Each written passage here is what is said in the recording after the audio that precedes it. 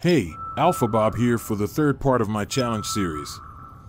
For this special episode, I am giving away all the ISK that I make from this superior sleeper cache site. Plus a grand prize of all the ISK I make by the end of this billion ISK challenge.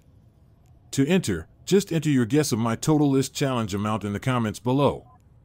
I will take guesses for one week and limit this contest to my subscribers, so subscribe now if you haven't yet.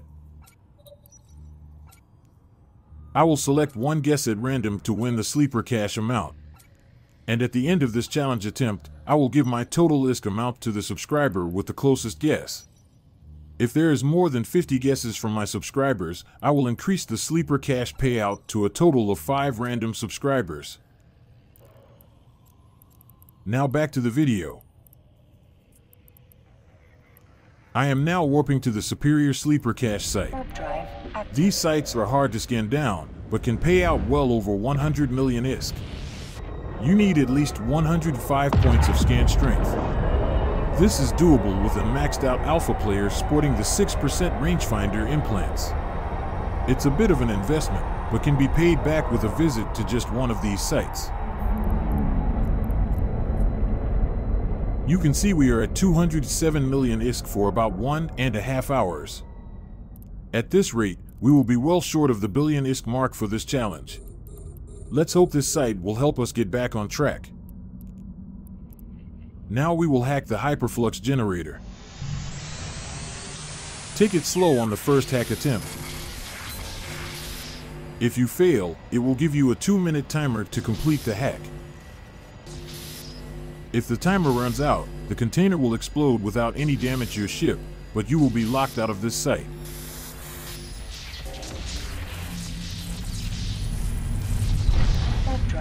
This warp gate will take you to either the sentries on duty room or more commonly the solar power plant room. If you land in the sentry room first, then you should use the nearby warp gate to the solar room.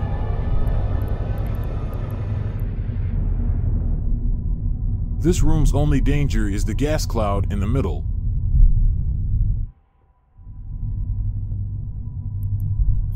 You need to retrieve the disk from the Sol Ray observation unit and place it in the right container.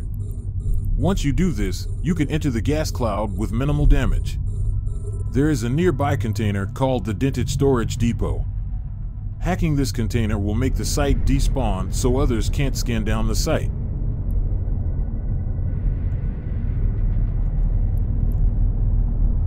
I cargo scan to see what I might get.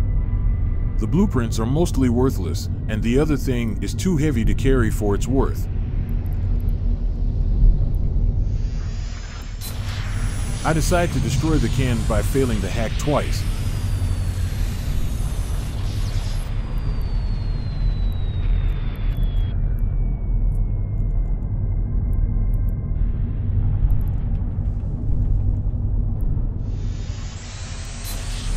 but I forgot the containers in this site can be hacked as many times as you need.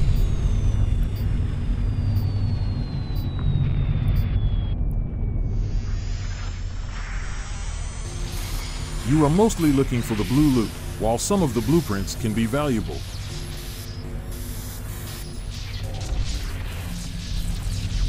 You can search for contracts for this blueprint to see if they are worth anything. I take just the blueprint.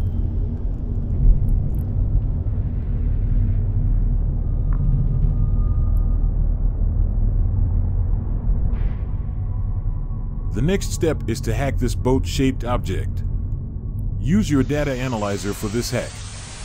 This container can be hacked as many times as you need.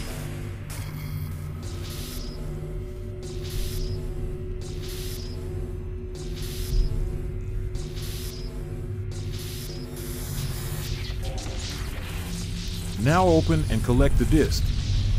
You need to match the name on the disk with one of the three Sol Ray containers in this room. They are named infrared, gamma, and radio. I have the radio disk, so I need to fly to the other side. Use this warp gate near the boat to travel across the room. Warp drive active.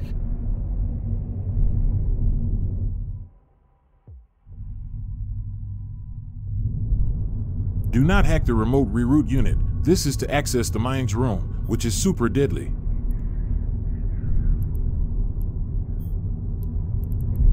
Once you place the disk in the correct container, you will see a message in local chat showing the power terminal is now stable. Now you can enter the gas cloud without major damage.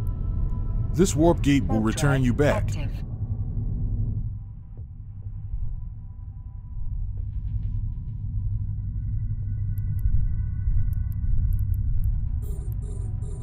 I now select all the hackable containers and start my cargo scanning.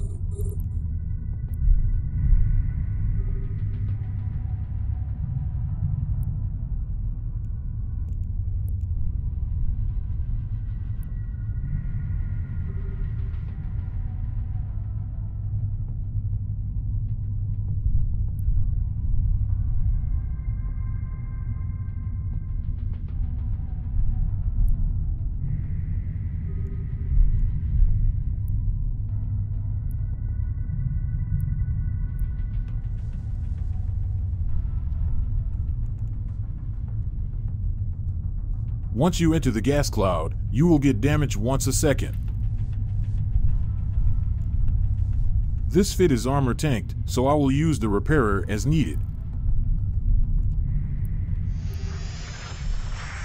This first hack is worth 42 million ISK. Don't screw this up.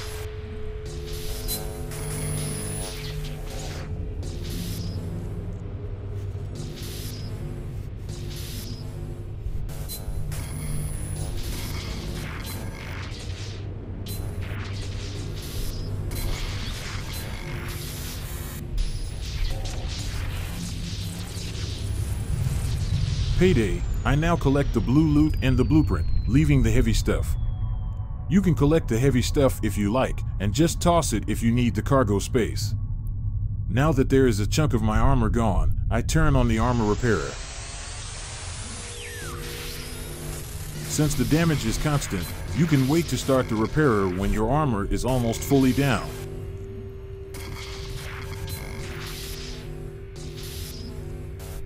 You will have to turn off the repairer for a little bit when your cap gets low.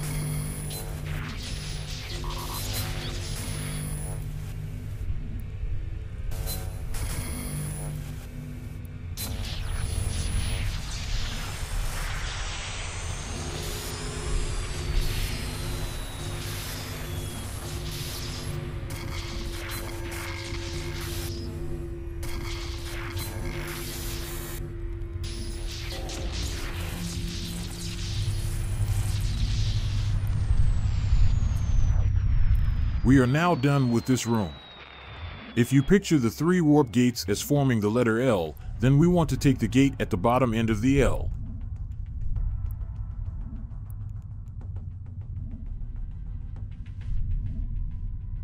I fly towards the gate as I continue to repair my armor.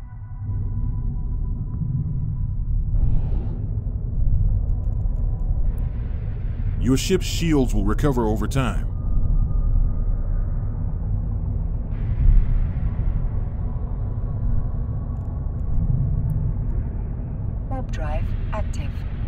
This gate takes me to the sentries on duty room.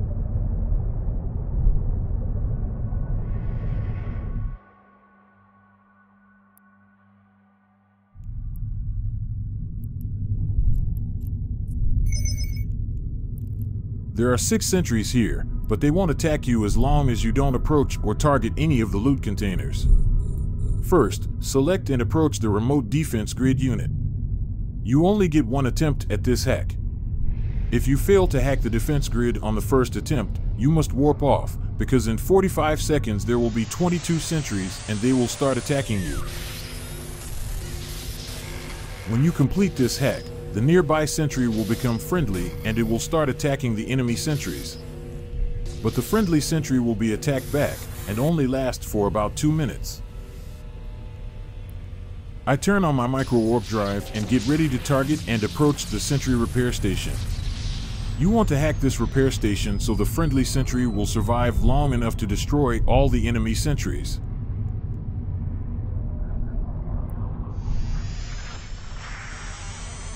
There's no penalty for failing this hack, so you can go quickly and restart the hack if you have a bad board.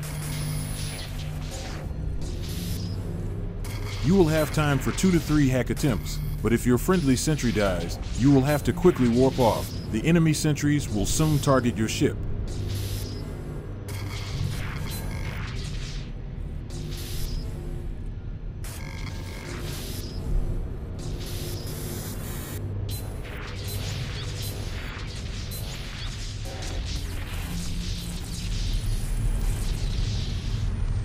Now it's a waiting game. It is safe to target the friendly sentry and even the enemy sentries. But if you fly towards or target any of the loot containers, the enemy sentries will focus their attacks on you. A more efficient way to hack both rooms is to take the warp gate and do this part first. While the sentries are getting destroyed, you can warp back to the solar room and do those hacks. Once you return here, the room should be clear.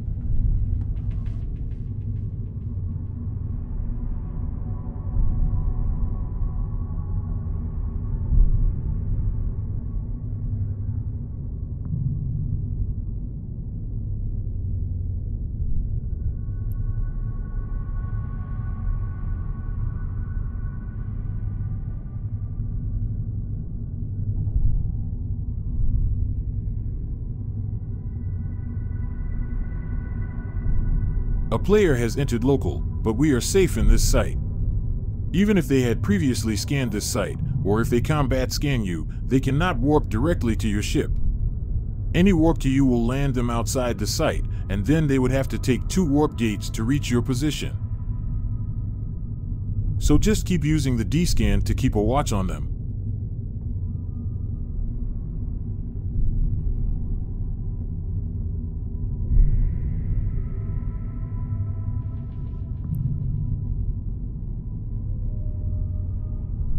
Another thing to mention, those three egg-shaped objects at the top of the screen are the plasma chambers, and if you fly too close they will explode with devastating damage.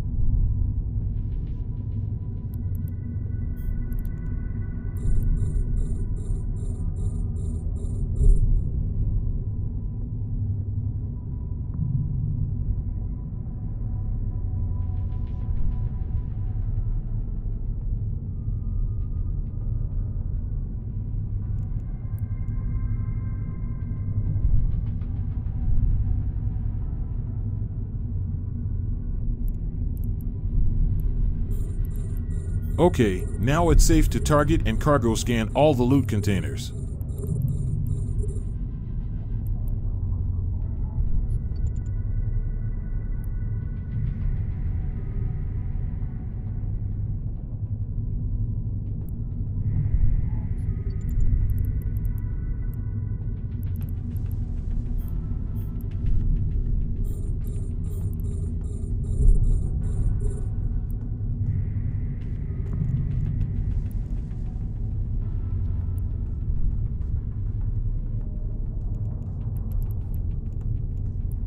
I use my micro warp drive to go to the first can, but once I'm near the other containers, I will turn it off and fly slowly between them.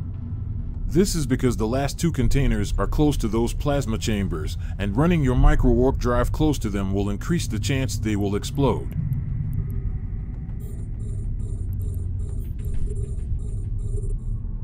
You can ignore the hyperflux generator and the vessel rejuvenation battery. These are used for the archive room, which is another dangerous room that can be skipped. This room has timed explosions and mines that can explode if you fly in the wrong direction, but as an alpha player, and knowing the process of the room, you can hack another two loot containers in about 3 minutes. But it's a bit too risky for my blood, so I'll just stick to hacking these first two rooms. Now sit back and enjoy my hacking. Or you can skip to the end of the video to see my loot total for this site. Remember, I will give away this ISK to a lucky subscriber. Actually, I would like to find more ways to give away my ISK. If any of you have a good idea for ISK giveaway contest, leave me a comment.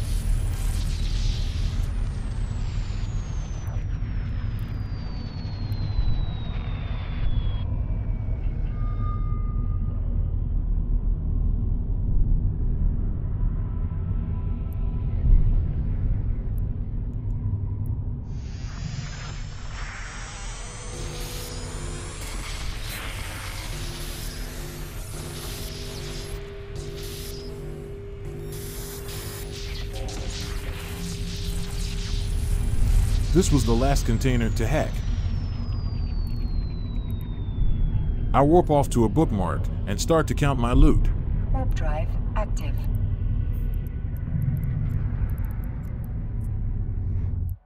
I only picked up the blue loot, and the total is 99 million. Okay, let's say an even 100 million ISK. That will be the amount I give away to a random subscriber who leaves a comment. Make a guess at my total ISK amount for the full 5 hours of this challenge attempt, and I'll give away that ISK too. Thanks for watching and make sure to hit that subscribe button. Happy hacking! Warp drive active.